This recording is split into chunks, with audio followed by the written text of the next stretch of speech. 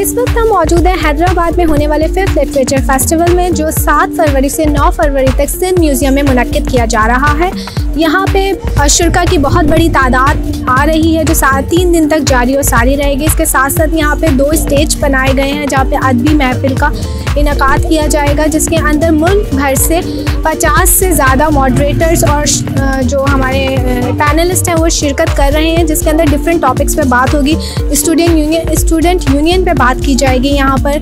यहाँ बात की जाएगी सिविल सोसाइटी और पार्लियामेंटेरियंस का रोल लेगिस्लेशन के अंदर क्या आर्ट के अंदर कैसा रोल है। हम एक्सट्रीमिज़म को कैसे काउंटर कर सकते हैं इन तरह की आदमी महफिल के अंदर। इसके साथ साथ यहाँ पे एक आर्ट गैलरी का आर्ट गैलरी की अरेंजमेंट भी की गई है, क्योंकि जो हमारे माशरे में आजकल आर्ट का कल्चर जो ख़त्म होता जा रहा है, आवाम की और बिलखसूस नौजवानों की जो दूरी है आर्ट से, उसको ख़त्म करने के लिए और दोबारा से प्रमोट करने के लिए, हमारे आर्टिस्ट को प्रमोट करने के लिए यहाँ पे एक आर्ट गैलरी का इनका भी किया गया है, जिसको यहाँ की डिप्टी कमिश्नर आयशा अबड़ो ने इनाग्रेट किया प्रोग्राम के ऑर्गेनाइजर इजहार सोमरो मौजूद हैं, इनसे पूछते हैं कि इन्हें क्या क्या चैलेंजेस आए इसको फेस करने में। जी तो आप ये बताएँ पहले कि ये आप पाँच साल से मुनद कर रहे हैं। तो ये आइडिया कहाँ से जनरेट हुआ ये आप? ये पाकिस्तान में, बल्कि दुनिया में सिडनी से लेकर जयपुर तक और जयपुर से कराची तक हर जगह पहले भी लिटरेचर फेस्टिवल हो रहे थे। हैदराबाद सिंध का कल्चरल हब है और सिंध का दूसरा बड़ा शहर है और यहाँ पूरे सिंध से लोग आते हैं, उनके घर हैं, यहाँ उनकी फैमिलीज़ हैं। तो हैदराबाद में कल्चरल एक्टिविटी हमेशा से रही है।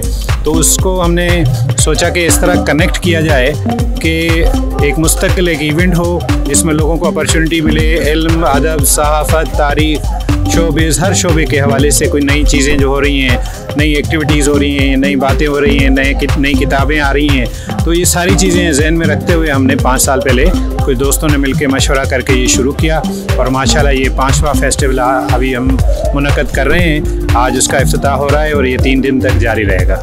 अच्छा आप बताएँगे कि इसकी प्रिपरेशन कब से स्टार्ट हो जाती है और क्या क्या चैलेंजेस हैं जो आपको फेस करने पड़े? ये बहुत मुश्किल सवाल है। देखें, इसकी प्रिपरेशन पूरा साल होती है। बेसिक आइडिया तो कंसेप्टलाइजेशन शुरू हो जाती है। इस मेले के ख़त्म होते ही हमने नए मेले पर काम शुरू कर देना होता है। और फिर आखिरी जो छः महीने होते हैं, उसमें उसको फिर हम मटेरियलाइज़ करना शुरू करते हैं। आखिरी तीन महीनों में उसको फाइनलाइज शुरू कर देते हैं और आखिरी एक महीने में हम इसको फिर एक कंप्लीट शक्ल दे देते हैं। इस बहुत ज़्यादा इसमें देखें, लोगों से डीलिंग है आपकी। 500 से लगभग इस दफ़ा हमने 250 राइटर्स और मुख्तलिफ़ शोबों के लोगों को बुलाया है और 250 के करीब स्टूडेंट्स हैं जो परफॉर्म कर रहे हैं कॉलेजेस के।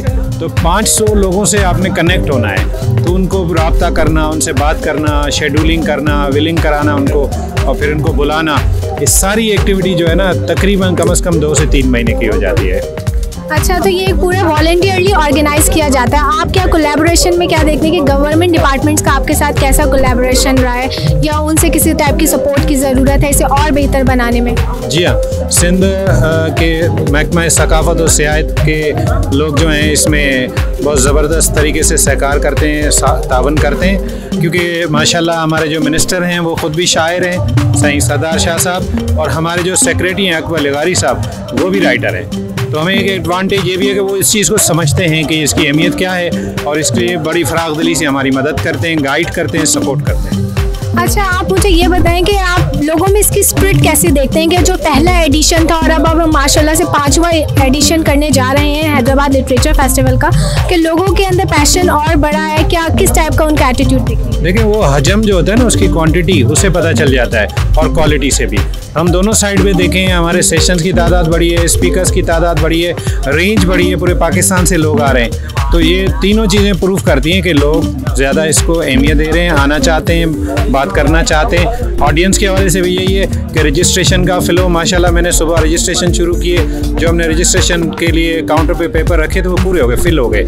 और प्रिंट करवा के और रखे हैं, और लोग आ रहे हैं। तो अभी तो इनाग्रेशन नहीं हुआ और इससे पहले आप देख सकती हैं कि क्या टेंपो है। तो इसे डेफिनेटली अंडरस्टैंड करा जा सकता है कि लोगों को इस चीज़ की ज़रूरत है। अच्छा हमारी यूथ के अंदर एक देखने में आया था कि रीडिंग का कॉन्सेप्ट बिल्कुल ख़त्म होता जा रहा है। तो आप क्या देखते हैं, किस हद तक ये हैदराबाद लिटरेचर फेस्टिवल कामयाब हुआ है हमारी यूथ को कनेक्ट करने में, वापस अदबी महफिलों की तरफ़ लौटाने में?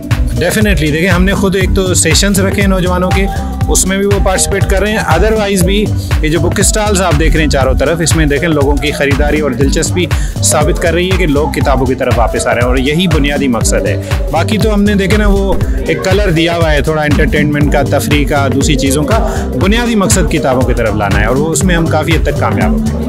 अच्छा हमारी इस थीम के अंदर एक आर्ट गैलरी और आर्ट एग्जीबिशन भी शामिल है, लेकिन हम ये देख रहे हैं कि हमारे आजकल के जो आर्टिस्ट हैं, उनको इकोनॉमिकल कोई सपोर्ट नहीं है, उनको, उनकी हालत ज़िंदगी हमारे सामने है। तो आपको क्या लगता है कि उनकी प्रैक्टिकल लाइफ देखने के बावजूद आएँगे लोग आर्ट की तरफ़ मुतवजा होंगे?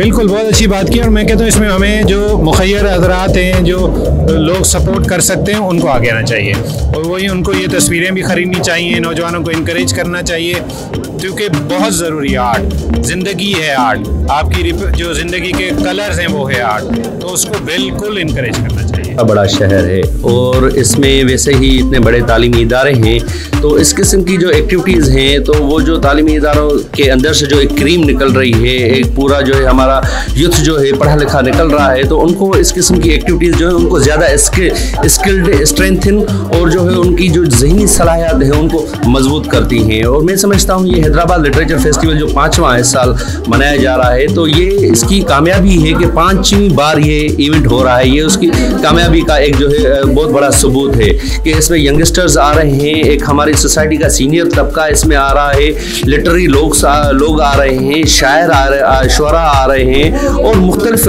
जो है, मकतबा फ़िक्र से लोग आते हैं, आइडियाज़ शेयर करते हैं, जो हमारे नौजवान हैं, वो उनसे सीखते हैं गेन करते हैं, फिर अगले साल वही गेस्ट बन के यंगस्टर जो है, आके बैठते हैं। तो एक एवोल्यूशन सोसाइटी जो इर्तका से एक ये समाज जैसे गुजर रहा है, ये भी एक इर्तकाई मरहला है, जिससे हैदराबाद लिटरेचर फेस्टिवल जैसे शुरू हुआ, आज एक मेच्योर पोजिशन में आके जो है, हमारे यंगस्टर जो है, उससे जो है मुस्तफ़ हो रहे हैं। आपने बिल्कुल फैक्चुअल बात की, लेकिन मेरे सवाल एक ये भी है कि आपको नहीं लगता कि कराची और हैदराबाद के यूथ के पास तो ये अपॉर्चुनिटीज़ हैं, मौजूद और प्लेटफॉर्म्स हैं?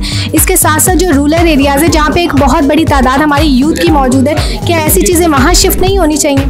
बिल्कुल सही कह रही हैं। एक्चुअली इसकी जो शुरुआत है, वो इस्लामाबाद, लाहौर और कराची, तीन बड़े जो शहर हैं, पाकिस्तान के, वहीं से हुई थी। उसके बाद यहाँ जैसे एजाज सुमरो साहब हैं, उन्होंने कोशिश ली थी, यहाँ हैदराबाद में इसको इनिशिएट किया। हालाँकि ये हैदराबाद में भी नहीं था। आप पाँच साल पहले तक फिर जो है कल्चर डिपार्टमेंट के ताउन से उन्होंने यहाँ इनिशिएट किया। उसके बाद आप देखें, खैरपुर में ये फेस्टिवल मनाया जाता है, घोटकी में ये फेस्टिवल मनाया जाता है, नसीराबाद एक छोटा शहर है, वहाँ पर ये फेस्टिवल मनाया जाता है। तकरीबन अभी जो है ये आस आस एक इनिशियल इनिशिएट लिया गया। एक जो है बुनियाद पड़ गई जिस चीज़ की, अभी स्लोली ग्रेजुअली लोग गवर्नमेंट की सपोर्ट ना भी हो, फिर भी लोग अपने जो है बलबूते पे आपस में कंट्रीब्यूशन करके नसीराबाद लिटरेचर फेस्टिवल का मुझे पता है, मेरे जाती दोस्त हैं आपस में कंट्रीब्यूशन करके भी वो प्रोग्राम करते हैं ताकि जो उनके इर्द गिर्द के लोग हैं, उनको फ़वाद मिले।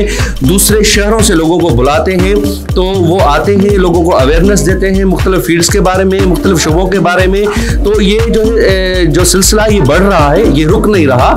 ऐसे नहीं कि इस पर जो हार्ट आ गया, अभी पाँचवा हो रहा है, अगले साल छः होगा।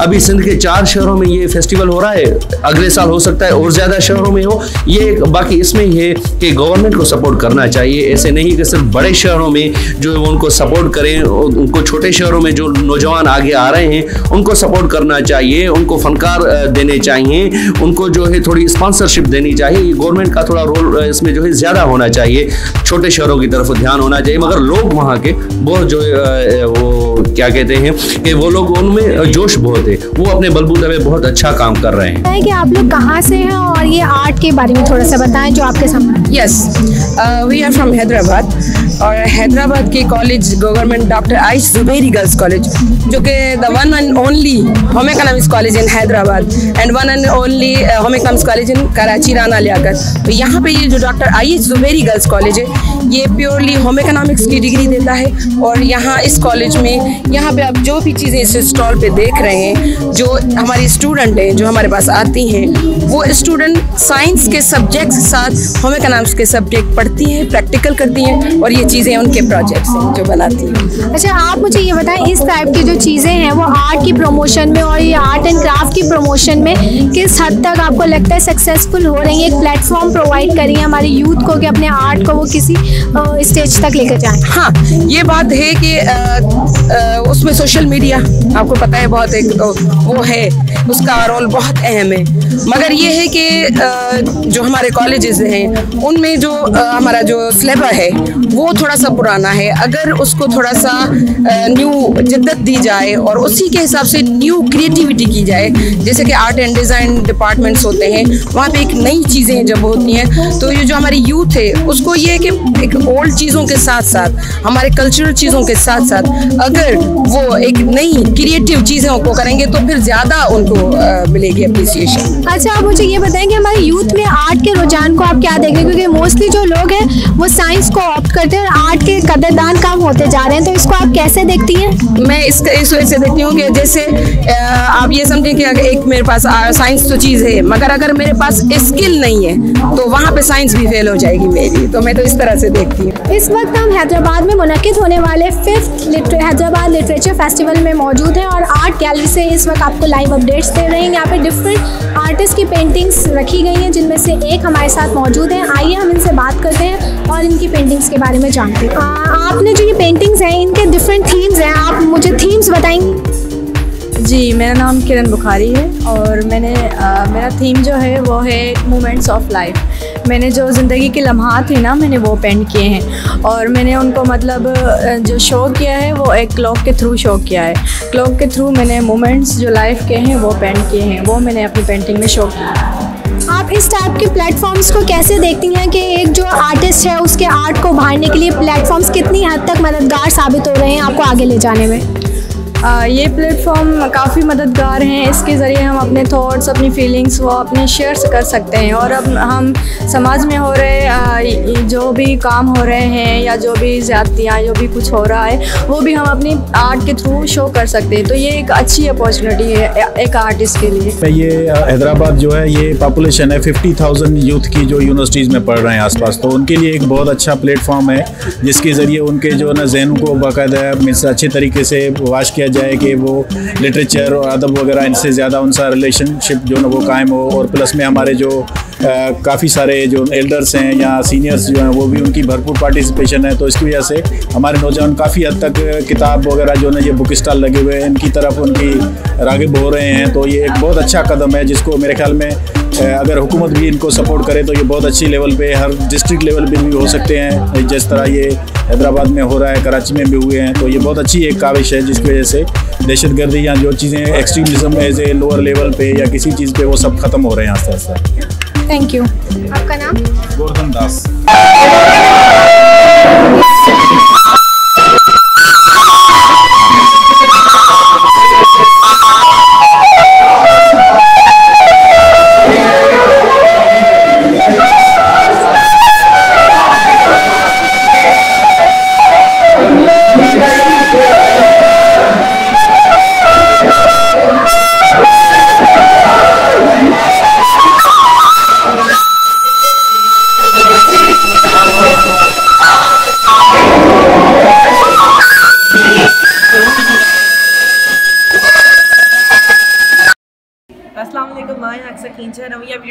हमारा इलेक्ट्रॉनिक डायरी वाला है उन्हें प्लीज़ यूट्यूब पे सब्सक्राइब करें और इन सब्सक्राइबर्स के बताएँ थैंक यू